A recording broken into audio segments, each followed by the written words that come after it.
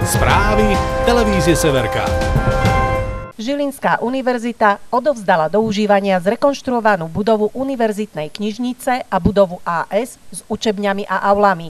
V auguste 2016 nastúpila realizačná firma a v januári 2017 bolo dielo dokončené. Po rekonštrukcii sa stali budovy nízkoenergetickými a budú z hľadiska potreby primárnej energie zaradené do energetickej triedy A0. Obidve rekonštrukcie boli financované cez štrukturálne fondy, cez Slovenskú energetickú a inovačnú agentúru v rámci schémy práve energetických úspor, čiže boli to rekonštrukcie najmä okien, obvodového plášťa, vykurovacieho systému a osvetlenia.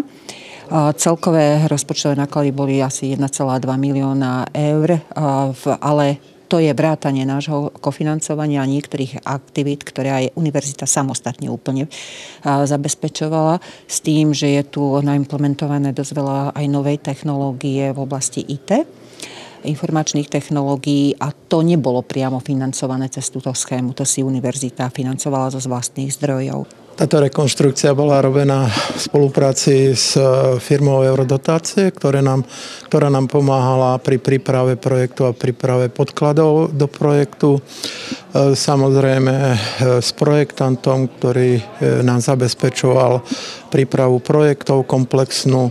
No a v neposlednom rade s firmou Hastra, ktorá realizovala všetky tieto práce priebehu necelého pol roka. Postupná modernizácia a rekonštrukcia budov sú okrem úspor energií a financií dôležitými krokmi pre zvyšovanie kvality a atraktivity prostredia pre prácu a štúdium na Žilinskej univerzite. Všetky projekty, ktoré aj do budúcna budú realizované, sú v, štádie, v štádiu prípravy, e, majú za cieľ jednak energetickú efektívnosť, ale následne v tom druhom rade aj ten šat, ktorý získajú tým novým rekonštruovaním, čo samozrejme prináša ten druhý rady alebo možno pre školu prvorady cieľ, aby sa tu študenti, ale aj pedagogickí pracovníci cítili dobre. Tak mesto robí maximum preto, aby sa univerzita rozvíjala.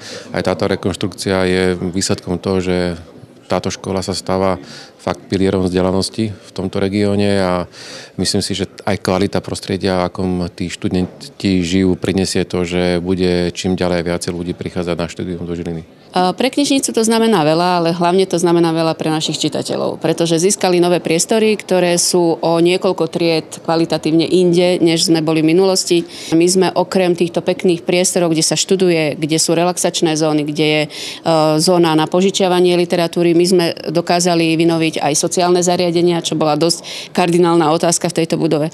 Takže celkový ten komfort pre čitateľa išiel o niekoľko čísiel hore. Zrekonštruované budovy by mali usporiť približne 300 MWh tepelnej alebo elektrickej energie. Finančné úspory by mali byť okolo 30 tisíc eur ročne. Severka, televízia Severného Slovenska. Denne nové spravodajstvo z miesta obcí, v ktorých žijete, pracujete, kam chodíte na rekreáciu či za priateľmi. Žiadajte u každého dobrého operátora. Televízia Severka. To, čo nás spája. Viac informácií na www.severka.tv.